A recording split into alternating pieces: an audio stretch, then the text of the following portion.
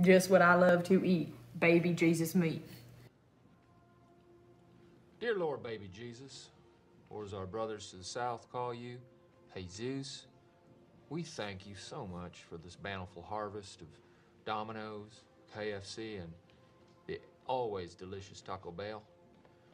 I just want to take time to say thank you for my family, my two beautiful, beautiful, handsome, striking sons, Walker and Texas Ranger, or TR as we call him.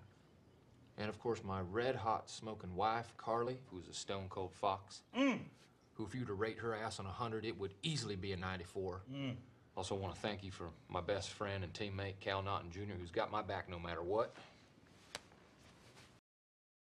Lord, baby Jesus, we also thank you for my wife's father, Chip.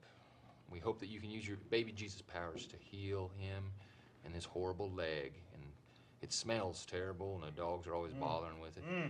Dear tiny infant Jesus, we- Hey, um, you know, sweetie, Jesus did grow up. You don't always have to call him baby.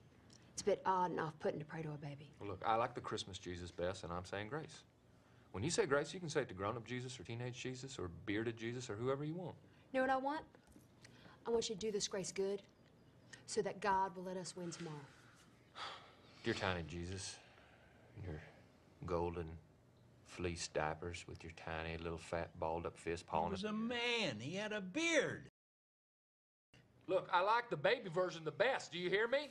I win the races and I get the money. Ricky, finish the damn grace.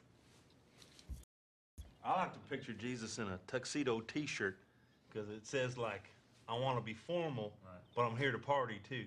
Because I like to party, so I like my Jesus to party.